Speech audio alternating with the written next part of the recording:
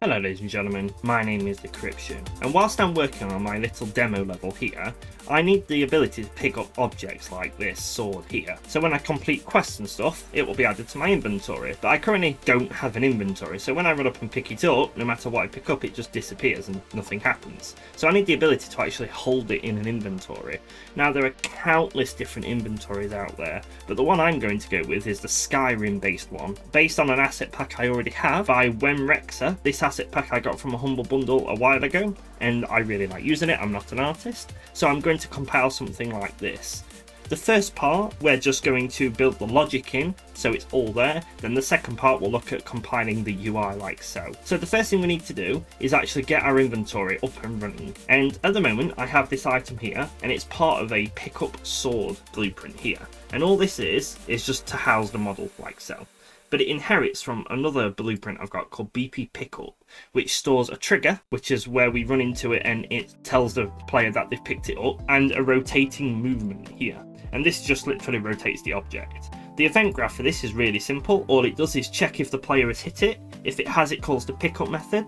The pickup method checks if it needs to complete any quest of any kind. And if it doesn't, then it calls finish. And then in the finish method, it just destroys the blueprint. That's why it disappears. So we need to modify this so it houses an item that we can pick up, storing in our inventory. So the first thing I'm going to do is I'm going to come to my content drawer and inside my items, I'm going to right click blueprints and I'm going to create a new struct called s underscore item. And I'm going to open this up. And in here, we're going to store all of our items details. So the first one we'll store is its name. And I'm going to call it name. And for translation, I'm going to give it a type of name. The next I'm going to store a weight and that will be an integer. The final thing we'll need for later is a way to actually reference it back to the object because once we destroy it we need to be able to reference it again. So I'm going to add another variable here and I'm just going to call this actor. And in here I can basically search for any blueprint I want and I'm just going to keep it a type of act. So I'm going to search for actor here and when you scroll down you'll see actor under object types and I'm going to click soft class reference. So this soft class reference will not load into memory unless we actually try to call it, which should be a lot more efficient. And I'm going to save that. To test if it's working, I can jump into default values, I can set a name, I can set a quantity, and in your actor, you'll not be able to pick anything in the world because we will have destroyed it, but you'll be able to find anything in your content drawer. So if I were to search for my sword, for example, I will see my custom sword there. So I can click it, then I can spawn it whenever we need to use it. So that's working perfect. The next step is we actually need to tell this pickup here that you are this item. Use the details we've just given you. So I'm going to jump into my pickup script here, and where I've got item name here, I'm just going to delete it because we don't need it. And I'm going to drop a new variable in called details and this will be a type of our S item. Uh, tick the little eyeball so we can set its details. I will tick expose on spawn to help anything out later, and we can save it. Now I'm going to jump into my sword here because I have a blueprint specific for the sword so we can do more stuff with it later. And you will see in the class defaults, we will be able to see the details here. So I can open this up and start populating it. So it'll be a sword, the weight will be 14 randomly, and the actor will be itself. So pick up sword. I'm going to save and compile that. Now we need to set the inventory up and working. Now I don't want the player to be the only one in the entire world with an inventory. Just like games like Skyrim or Grand Theft Auto, each person could be holding some specific items. So I need all of my NPCs to have an inventory as well. So what I'm going to do is create something called an actor component. Now if I were to jump into my player here, you will see your components down the side underneath all of your main parts. You can't drag a component into the world, you can't touch it or do anything with it, but you can reference it if you hold the object that, that holds the component. So in my content drawer here, in blueprints, I'm going to create a new folder called components. And in here, I'm going to create a new blueprint and it'll be a type of actor component. And I'm going to call it BPC for blueprint class inventory. And as you can see, it's got the same icon. And now that we've created this as a component, we can come to the player and add it directly to them. And now we can give them an inventory. And I can do the same for all my NPCs as well. Perfect. So in the inventory here, I'm going to delete the starting methods. The first thing an inventory needs is slots. It needs a way to store items. So we need a new variable for it, but we need a specific variable that'll store the item and the quantity. So just like we did before, inside the components, I'm going to create a new blueprint and it'll be a type of structure and I'm going to call it S inventory slot. In here, just like we did before, we can add our variables. So I'm going to add the first variable of item and this will be our S underscore item. And then I can add another one under this and it'll be quantity, just like that. And we can jump back into the act component. I can add a new variable and I'll just call this slots for inventory slots. The type will be S inventory slot and I'll tip the little eyeball and then I'll set the type type to be a map. And we're going to use a map because a map contains two values, a key and the, the actual data. The key will be our item name, so it'll be unique, so it'll be sword or shield, iron shield, stuff like that. Whereas the data will be, the value will be our struct. So I'll set the value to be S inventory slot and I'll set the type, the key, to be a name, just like so. And then I'm going to come over here and I'm going to create a new function called add.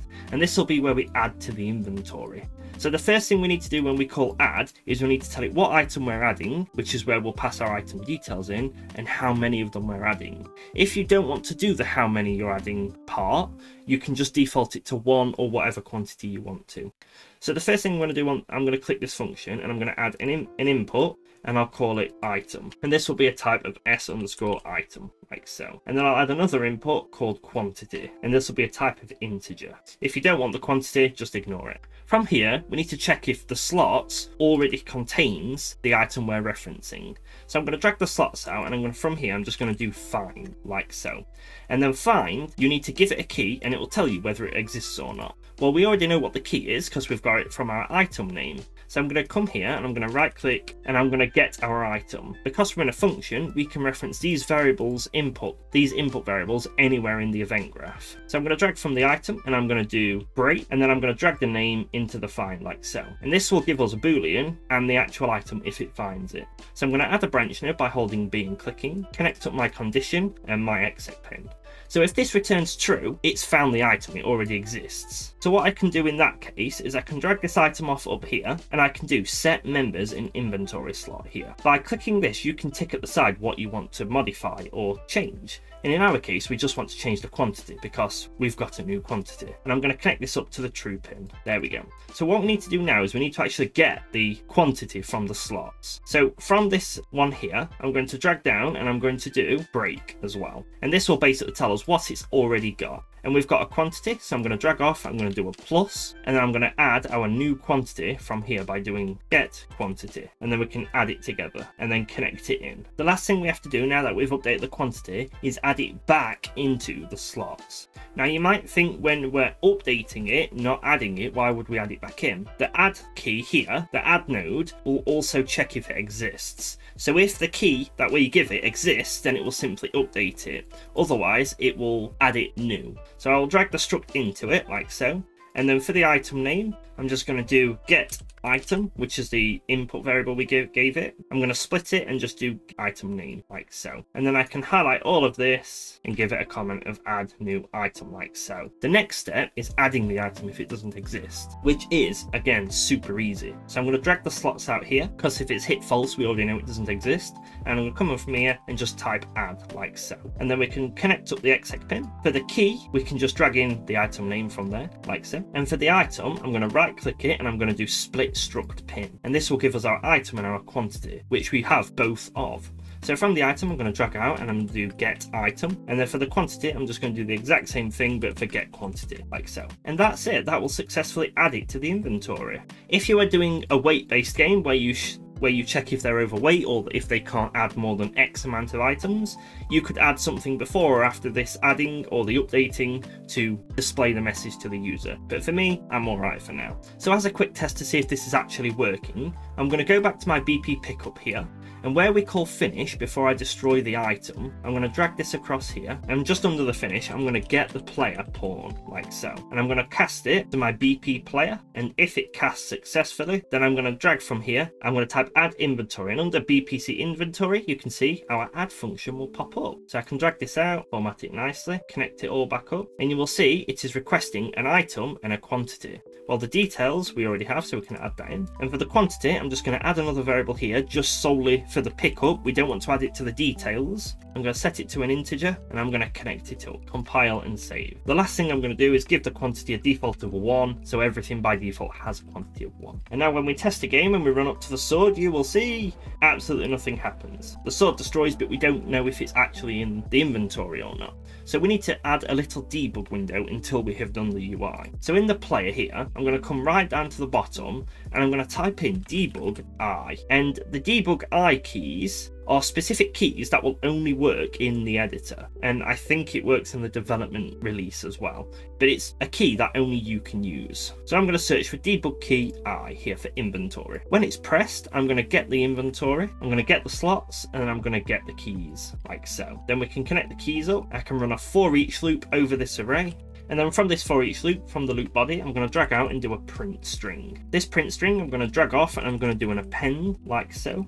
And then in the array element, I'm going to drag it into the top one, which will print out sword. Then in here, I will put a space dash space, add another pin, and then from the slots, I will do a find. I will connect up the array key to there so we can find the element, and I will split the struct pin here, where I will drag in the quantity. So this will tell us sword, and it will say you've got five or three or something. now if I go back to Roman scene and start the game, you can see if I press I, nothing will print out at the top, but if I run out and pick up the sword and press I now, you can see we've got one sword, like so. If I were to come and add some more swords, but I'll also come in and add a, a different type of sword, which should be sword 2. And now if we try it, when we run in and we pick up the first sword, and we tap the I key, you see it says we've got one sword. If we pick another sword up and press I, it says we've got two swords. Three swords, perfect. And now we can grab this sword, which is a different one, and it says we've got three of sword one and one of sword two. Perfect. But what if we want to drop an item? So inside our inventory again here, I'm going to go to the functions and I'm going to add a new function of drop. And this will be almost identical to the add function that I will add an import of type item and it will be s item and it will have a quantity to say how many you want to drop. Again, this bit's optional. And the first thing we need to do for safety is to just make sure we actually contain the item. So I'm going to get the item, I'm going to break it, I'm going to split it and then just drag the item name in. I'm going to hold B and add a branch. And if we do have the item, then we can remove that quantity of it. So I'm going to drag off from this item here and I'm going to do a break like so. I'm going to drag off from the quantity and I'm going to do a minus, a subtract, and I'm going to add in our get quantity like so. So it'll get the item and it will minus the quantity from it. From this, I'm going to drag off and I'm going to do it double equals. I'm going to do a less than or equal, like so. If it's less than or equal zero, it basically means we've run out of the item, we don't have it anymore. So we can remove it from the inventory now. So if it's true that we're less than zero, I'm going to drag the slots and I'm going to do remove. And in the true, the key that we're going to remove is simply going to be our item name. And that will completely remove it from the inventory, so we don't have it anymore. Otherwise, it'll report we've got minus one or something like that. However, if it's false, that means we do have the item and we still have some in stock. So for example, if we have five, we remove two, we still have three. We need to add it back into the inventory like we already have. So I'm going to come across to the slots find here. I'm going to drag this off here and I'm going to do a set members in slot, just like we did before. From the false I'll drag it into the set members. I'll tap the quantity option here and I will drag in our new quantity from here. And then from our slots, we can simply do add. Just like before, if it already exists, it will simply update it. I can drag that in there. And then our, our item details will be our struct out like so. And that's how we remove an item. So in order to test this, I'm going to jump back to my player. I'm going to add a new debug key of O. I, I don't know why. O is next to Y. It makes sense to remember. So the first thing I'm going to do is I'm going to go off and get our slots here. And I'm going to actually check if it's got any keys. Because if we've got an empty inventory, we don't want it to crash the game, even in development. So I'm going to drag from the keys and I'm going to do a length check. If it's more than zero, I'm going to add a branch, connect it up. If it hits the false on this branch, it means we've got no items, we're not going to do anything. But if it hits true, then we, we're just, for test purposes, going to get the first item from the inventory and just drop one of them. So I'm going to come off and get our, our slots here, and I'm going to do a keys, connect it to the true, and then from the output, we can just drag off a get node here, which will get us the first item it finds. And then from the slots, we can do a find, and we can connect up the key like so. So that'll give us one item at the very top of the inventory, its entire inventory slot. We can break the item slot there to get the item, and then we can drag our inventory in and we can do drop like so. The drop wants a quantity, so we'll just say we're going to drop one and then the item, I will connect up the item like so, and then the exit pins. So now every time we come off and press the O key, it will try to drop something until we have nothing. So we'll come in and I'll press the O key and you can see nothing's happening because we've got an empty inventory. But if I pick the first item up, it'll say we have one sword. So if I press I, I can pick another sword up, and we've got two swords. If I press the O key, it's just dropped one. So now if I press I, we only have one sword. If I get the other two swords, like so, press I, you can see we've got two swords and one sword too. But if I tap the O key and then tap the inventory again, you can see we have one sword and one sword too. If I press O key twice, we have nothing in the inventory anymore. Fantastic. So now it's saving our inventory. We now have a way to add to the inventory and we now have a way to drop the inventory. So the only other one we can do is a check function. And the check function is primarily going to be used for questing and stuff like that to say, have they got this item in the inventory? So I'm going to add a new function called get. And then in here, just like before, we can have two parameters. The first one being item, big type of S item, and the next one being quantity, being integer. The quantity is optional, and it will only check if they have that amount of quantity, or at least this quantity. So it'd be good for the get before you sell an object. If you say you're going to sell three objects, do you have three objects? I'm going to jump to the drop method and just like we keep doing, I'm going to copy all of this initial branch and the break selection to say, do we actually have the item in the inventory we're trying to drop? This is just in case somebody's trying to exploit the game or a developer's not done something. It's a safety check, like so. So that'll actually check, do we have the item? If we do have the item, then we need to compare the quantity and say, do we have at least this quantity? So from the quantity here on the break, I'm just going to say greater or equal to, and then the option from here will be the quantity. So I'll just do a get quantity and I will plug it in. Now we need a way to return whether or not we have that item. So I'm going to come over and click my function here, and in the outputs, you can expand it and add an output. So I'm going to add a single output of a bool saying has item, and then I'm going to set this to a boolean like so. Then I'm going to add another item of has item with quantity so then in the code, you can distinguish and show specific error messages saying you have this item, but you don't have enough of the quantity. And you can see it's added a return node for us. So I'm going to drag this down to this bottom one. The has item, we already know is true, so I'm going to tick it.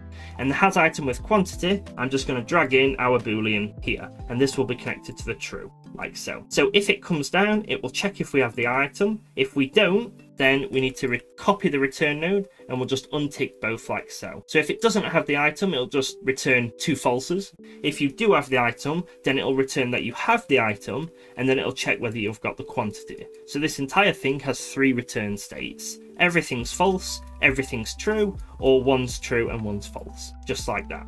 You can never have an item that have the quantity, so that's we can ignore that state. So now we can save and compile, and we'll jump back to our player to do the final debug key. So the only other option next to O is the P key. So I'll do debug key P. I will get our inventory and our keys, just like so. I will drag in the inventory and the slots. I will do a find, like so. And we want to find the sword. Do we want to find the sword in our items? So I'm going to add a branch here, connect up to it, and then just for dummy's sake, we pretend we've got an item there. And then from our inventory here, we can do a check. And I will call the function get like so, add it into the true. I will break this pin here and give it the item. And we want to say, do they have two? And then from this get, I can do a print string. From the in string, I will append. Then we can drag the two variables into it. And this will tell us, do we have the item or not? From the false tag, I will just drag down, add a string and say, you do not have a sword. So if I click P key now, you'll see it says you do not have a sword. I was like, oh, okay. So if I come down here and pick a sword up like so and press the P key, it will say true false. So we have a sword, but we don't have two. So I'll pick sword two up. You'll see it'll still say true false. We only have one sword. If I pick two of them up, press the I key, you can see we have three swords. So if we press it P key now, it'll say true, true, because we have the swords. So if you were to go up to a shop and try to sell them three swords, this can turn around and say you do have three swords. Otherwise, if we drop a sword, pressing the O key, it will now say you only have one sword, so we can reject it. And that, ladies and gentlemen, is a super basic concept for an inventory. You can massively expand this to save and load, add it to your game instance, and then in the next tutorial we're going to look at adding a UI very similar to the Skyrim one. So we'll add categories, we'll add details to it, and we'll try to make it look really, really nice. So I hope this helps ladies and gentlemen. Thank you for watching, please like, comment and subscribe, and I'll see you next time.